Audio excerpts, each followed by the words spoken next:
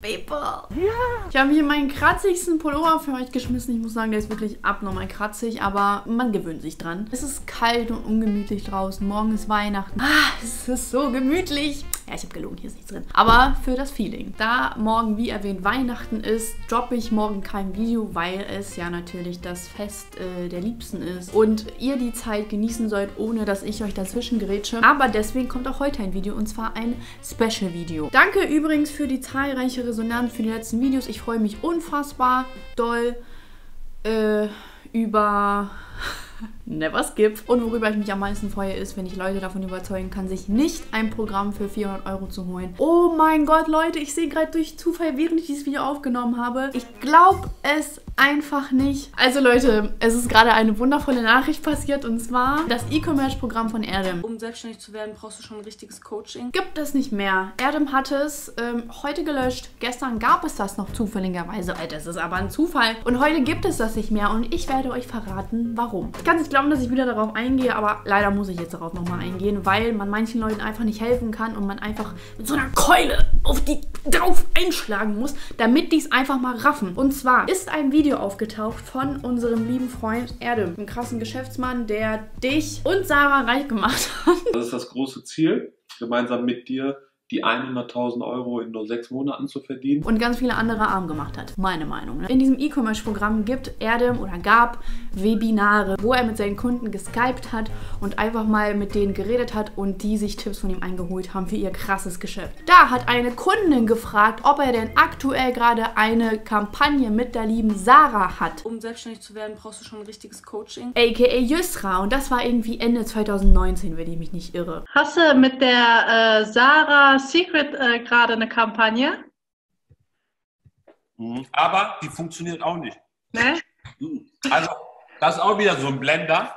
Die ist auch so ein Blender. Also, das ist genauso wie, wie in den meisten Fällen. Also, die hat mir das Gelbe vom Ei versprochen und meint so, alles, was ich bisher von dir gesehen habe, wer dann bei den Influencern war, scheiße ich mache das Beste von dir. Die hat keine 80 Bestellungen in 24 Stunden hinbekommen. Das Lustige an der ganzen Sache ist, dass es im Internet verbreitet wurde. Daraufhin wurde das Ganze dem Erde mitgeteilt und der natürlich total selbstlos und einsichtig, kann nicht sein, er wurde zusammengeschnitten. Und Sarah, um selbstständig zu werden, brauchst du schon ein richtiges Coaching. Die Psychologie studiert hat und Menschen durchschaut hat. Also ich habe Psychologie und Management studiert auf drei Sprachen. Die weiß, wie das Leben läuft, ne? Die natürlich Erdem durchschaut, ne? Diese Stories postest du um 4 Uhr morgens und löscht die dann wieder. Bitte geh doch einfach schlafen und poste nicht so eine Sch Was für zusammengeschnitten? Was ist das für ein Zufall, dass er das jetzt gelöscht hat, damit man es nicht mehr nachschauen kann? Ey, du kannst es nicht offensichtlicher machen. Du hättest doch nur diesen einen Kurs löschen müssen. Das wär's doch.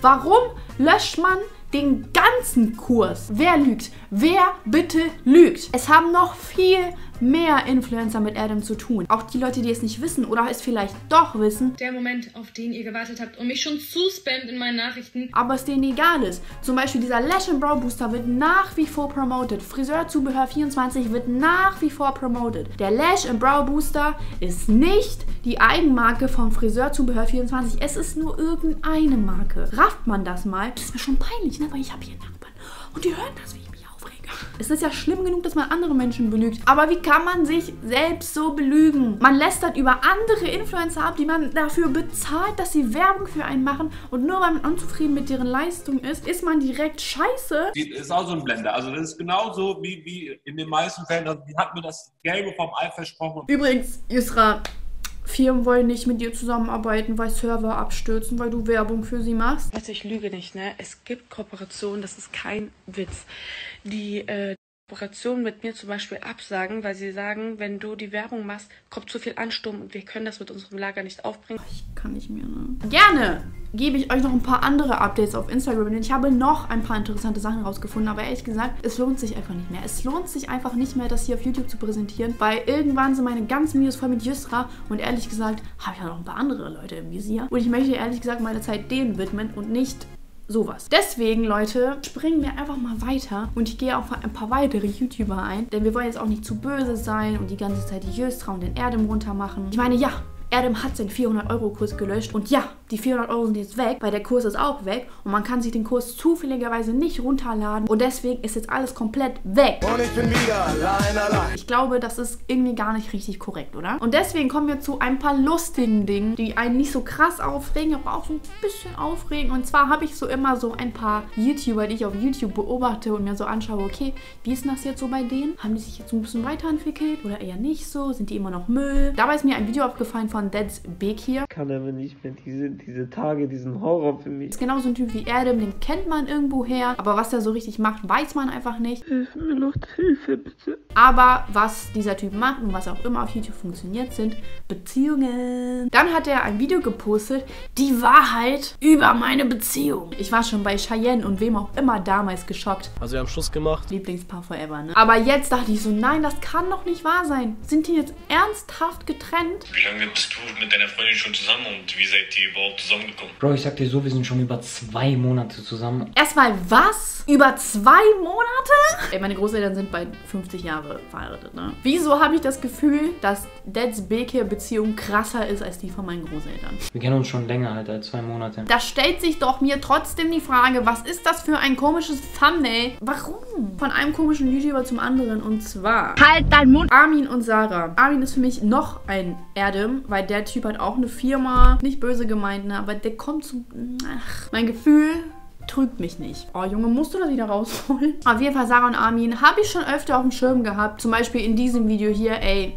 Ich habe mir das letztens angeguckt, ne? Das Video kann ich euch auch sehr ans Herz legen. Allgemein all meine Videos. Alle Videos ab 2019, sagen wir lieber so, okay? Auf jeden Fall, die Videos von Armin und Sarah sind so, ja, man schämt sich ein bisschen. So ein bisschen schämt man sich so, wie bei meinen früheren Videos. Hallo Leute, willkommen auf meinem Kanal. Man schämt sich einfach ein bisschen mit, weil es sind so Pranks, die echt hingerotzt sind. Die machen gar keinen Sinn, diese Pranks. Ich lüge vor meiner Freundin, um zu sehen, wie sie reagiert. Emotional. Okay, das Video muss richtig gut sein, wenn es emotional ist. Schon im Titel lesen. Ich habe es mal wieder geschafft, Sarah zum Weinen zu bringen. Ich bin absolut nicht stolz drauf. Also der Sinn dieses Videos ist es, dass sie Fragen beantworten. Er lügt sozusagen und sagt die Unwahrheit. Ähm, was glaubst du, ist unsere größte gemeinsame Stärke? Also es ist so eine gemeinsame Frage. Gibt's eigentlich nicht. Das ist so romantisch, oder? Gibt es ein Thema, über das du ungern mit mir sprichst? Was ist? Mach doch einfach weiter. Dieser Typ hat fast so viele Abonnenten wie ich. Wisst ihr, was noch peinlicher ist? That's Big hier hat 5000 Abonnenten weniger als ich. That's Big hier. Was macht er für Videos? Die Wahrheit über meine Freundin? Ich lese Kommentare über meine Freundin? Irgendwas mit meiner Freundin? Mache ich was falsch? Egal. Auf jeden Fall kommen wir jetzt zum Grand Finale. Gibt es ein Thema, über das du ungern sprichst? Meinst du gerade? Nee, mir hat was gestochen. Und dann kommt die krasse Auflösung. Leute, haltet euch fest. Ich habe es fast nicht mitbekommen, dass es eine Auflösung war. Das ist ein Prank. ein Prank. Ich war gleich vor Wut, ne? Ich bin richtig sauer. Was ist das für ein Scheißvideo, was ich mir gerade angucken musste? Du hast immer so auf Mitleid, ich hab ne? mich extra geschminkt. Er nimmt sie halt einfach nicht mal selbst ernst. Maske von anderen Mädchen im Autoprank. Hier nimmt Armin eine Maske und ich muss sagen, dieser Typ ist sogar fast schlau. Der macht da ein bisschen Make-up rein, damit es sogar echt rüberkommt. Ich werde sie jetzt hier quasi mit ein bisschen ja, Make-up eindecken. Und dann kommt Sarah. Äh, ja doch. Alle heißen Sarah, ne? Ist sehr verrückt. Er kündigt es an als ein Vlog. Mal den Vlog gestartet. Hi Friends, was geht? Und seltsamerweise findet Sarah auf einmal direkt diese Maske und die streiten sich direkt. Pinke Ich habe meine hier. Die, lag, die liegt da schon seit zwei, drei Monaten. Ich trage auch nur die Maske. Was Die ist liegt da das? schon die ganze Während das Handy weiterläuft. Ich habe meine zu Hause vergessen.